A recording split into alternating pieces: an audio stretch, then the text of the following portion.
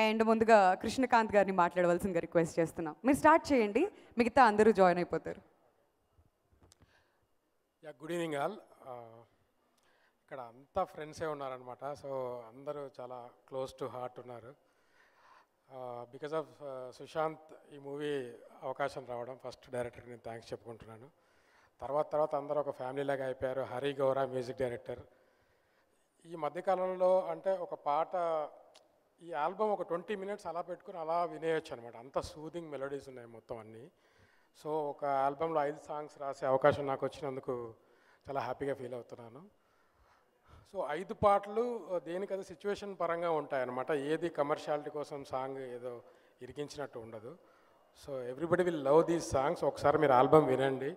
Already రెండు మూడు songs prove అయ్యాయి. లైక్ ఆమని ఉంటే పక్కన బాగుంది ఈ కలం ఇప్పుడు లాంచ్ అయిన ఈ సాంగ్ కానీ ఇది సిద్ శ్రీరామ్ పాడాడు.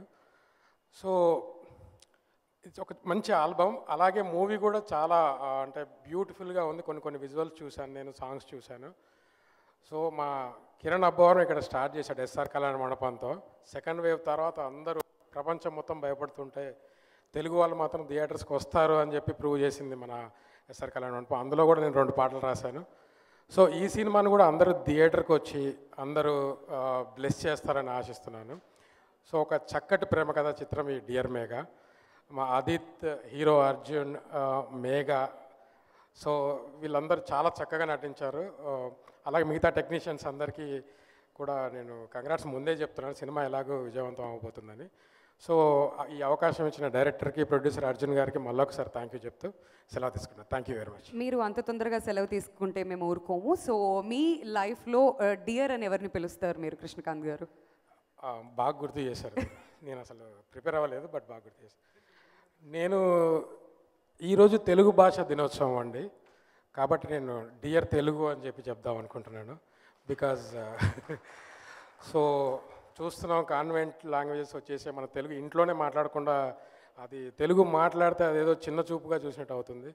సో మనం ఇప్పటి నుంచి పిల్లలతో కనీసం ఇంట్లో తెలుగులో మాట్లాడదాం మన తెలుగు భాషను మర్చిపోకుండా కాపాడుకుందాం. అందరికీ తెలుగు భాష దినోత్సవ శుభాకాంక్షలు కూడా. థ్యాంక్స్ అండి. Sir okay sir. డియర్ బదులు ప్రియతమా అంటూ మీరు ఆఖరిగా రాసిన ఉత్తరం ఎవరికి చెప్పండి? అసలు మీరు రైటర్ సార్ కమాన్ ఎవరికో రాసి ఉంటారు కదా. వదలరా మీరు ఆల్రెడీ ప్రిపేర్ అయ్యి చెప్పండి సార్ మా వాళ్ళు వెయిటింగ్ ఎవరికైనా రాసినా కూడా ఇప్పుడు చెప్తావా ఇక్కడ? అంటే పేరు లేకుండా చెప్పండి సార్ పోనీ. పేరు చెప్తా బిందు మా wife. Okay thank you thank you so much sir thank you thanks a lot